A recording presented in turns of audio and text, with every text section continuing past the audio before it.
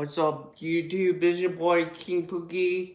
So we're less less than one week away to the Super Bowl. I'm not gonna watch the Super Bowl. I'm gonna take a knee, and I'm not gonna watch it because this the New Orleans, the New Orleans Saints got shafted. They should have won that game, and now you got these um fans from the New Orleans Saints that are suing the NFL because they think they got robbed and they want Roger Goodell to change the outcome of the game from from the last play from the helmet helmet they wanted them to replay it. Now I don't know where it's not he they're not gonna change the game. You know. I don't know where where these fans are gonna get what are they gonna get out of it. You're spending all your money um and what? You're not even gonna get anything out of it. You're gonna just get a a, a, a t-shirt saying that the New Orleans Saints won the Super Bowl or something like that. You're getting nothing unless if you what you betted on them and that's why you're losing all that money. You know that New Orleans could have made, but um, you guys are in nowhere. And I mean, I know there's people that are passionate about their football team, but and sometimes these um sports could take um over your life and um but yeah and then the chiefs got robbed too because they you know definitely the ball um, went through the guy's hands and it grazed his fingers and why didn't everybody knows it. And they went it took forever to get an outcome. And should they shouldn't even overturn that. You know, there was no evidence, you know. I mean, they were kept on looking at it on that every angle and they took their sweet ass time so to get so then they got to overturn it to get everybody pissed.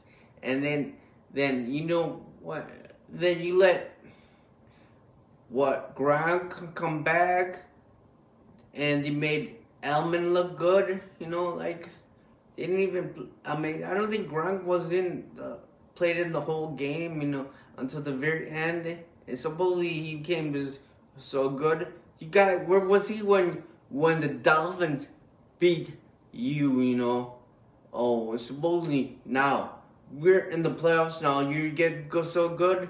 You know why? Because Tom Brady makes you money, Roger Goodell and that when money makes the world go round and round. And you know what? That's the only reason why the Patriots are in there because they're making NFL money, the money, money. What? Hope I'm hoping this is the last time I'm ever gonna see Tom Brady in the Super Bowl. I know when you get it old, man. You're 40 years old, and you're not getting any younger and you're just gonna be like Jim McMahon. You know, you're gonna be like a vegetable. For all these hits and those concussions is gonna come and haunt you when you get old. You're gonna be in the, in the hospital, sitting there, you know, in the hospital. And now, what? You're gonna be suing the NFL because you're getting all these injuries and you get all these bills. You probably spend all your money that's what I don't like about the NFL. They these players they should manage their own money. You know, this money is not gonna last long. You know, um, if they don't save, you know, and they don't invest into other things. You know, put their money, save their money, um, and they just buy things. You know, buy expensive toys and that stuff like new cars and everything. So and then we could see that some sports celebrities they go broke when their see when their career is over. They go broke because they spend all that money. So, and um, but yeah, I'm not gonna watch the Super Bowl at all. You know, if I was gonna watch it, it's because just because of the Super Bowl ads, which I probably could watch them on YouTube. You know and I really don't care and I'm I'm not even waste my time watching this game because I, I, mean I I hope to God at least the Rams win. I don't know if they're gonna have a chance, man. You know to win. They're probably gonna the Patriots are gonna win the Super Bowl. I bet you any money.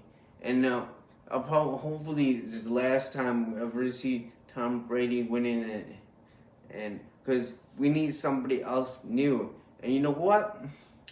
Our quarterback, it's time to take the torch.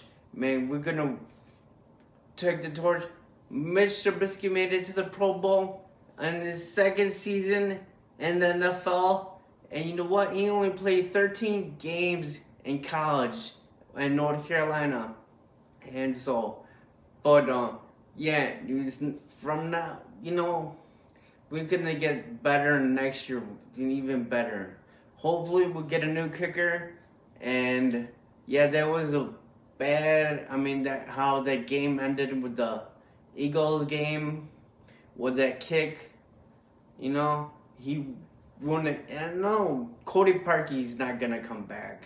He's not gonna come back. We're gonna draft somebody, or one he's gonna have competition, but he's definitely gonna gonna come back to um be the kicker next year. So yeah, I know. I saw that um the Chuck Pagano news conference today. And I'm very very excited for next year. I can't wait until next season in 2019 season. So this is King Pookie. Um, and I hope you guys don't watch the Super Bowl. And and I'll see you in the next video. Like my videos, subscribe, and I'll see you in the next video. Peace.